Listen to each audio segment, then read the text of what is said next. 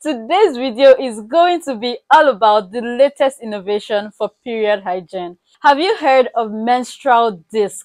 Yes, it's the new period product, very similar to a menstrual cup, very similar to a period cup, but it is different from a period cup. So the idea behind this product is that it's supposed to afford you more comfort.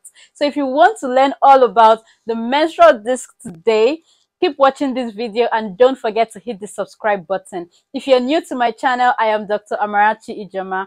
I am a fertility physician and my channel focuses on everything in fertility and women's health. So if this is the kind of content you're interested in, keep watching. Every day we keep finding better and more convenient period products. By the end of this video, you would be the one to decide whether this period is better and if you should use it. So I'm going to be telling you all about the menstrual disc. First, what is a menstrual disc? It is a period product. It's a period product alternative to pads, tampons, menstrual cups. You can wear it for longer hours in the day. That says you can wear it for up to 12 hours.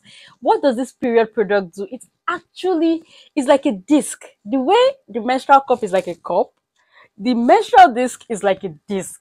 What it does is that it actually collects blood for up to 12 hours in a day until it's full and then you bring it out and you discharge the content. You pour the content into a toilet and flush. So unlike the menstrual cup, menstrual disc does not have a stem. It does not have a stem to pull down. So it's actually flatter and then when you're inserting it, it goes way higher into the vaginal fornix. So because it doesn't have a stem, you know, usually the menstrual cup, you know, is a cup with a stem. You hold on the stem. When you want to take out your menstrual cup, you pull on the stem to bring it out. So because the menstrual disc doesn't have a stem, it sits higher. You can actually have sexual intercourse while on your period and it will not be messy. That's one of the advantages of menstrual disc. How do you insert a menstrual disc? It's just like a menstrual cup. It requires a little practice. So you don't just take the menstrual disc once and then you get it.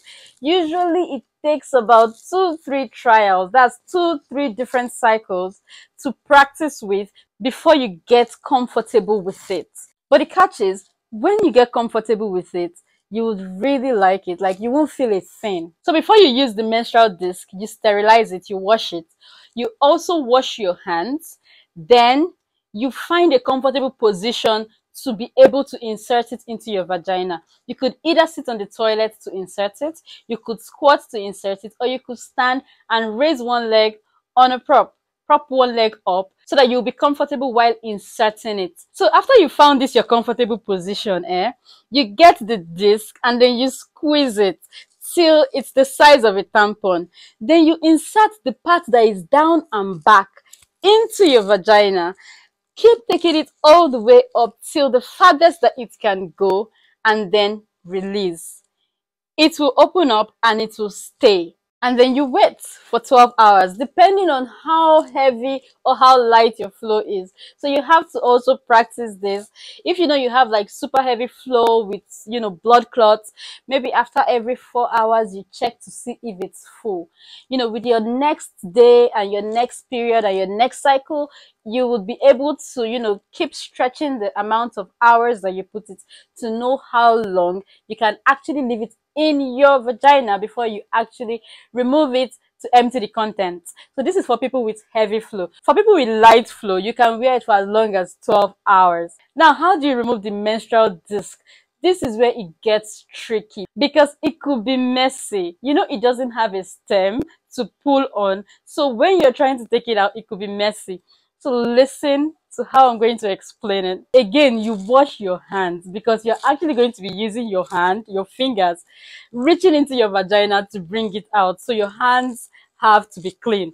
Then after you finish washing your hand, you sit on the toilet because hmm, you could spill the contents while you're bringing it out. Like I said, it can be a little bit messy.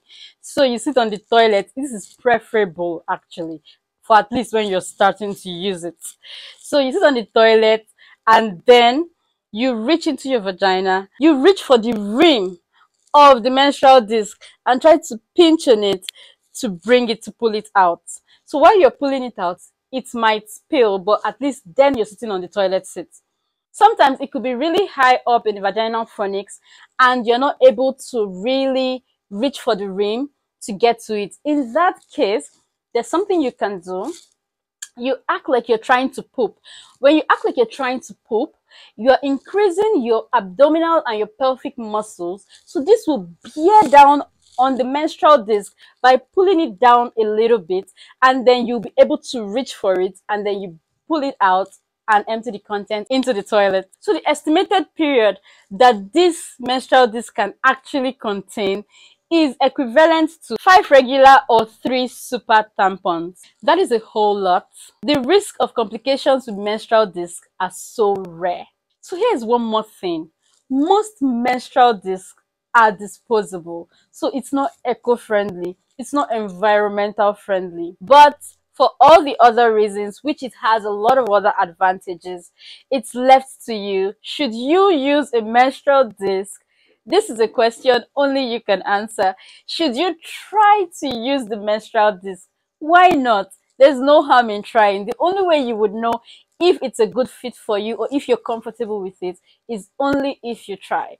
So I hope this video was informative. This video was only meant to create awareness on a recent period product available. If you found the video informative and you enjoyed watching this video, click the subscribe button below, like this video, comment, share with your friends, and see you in my next video.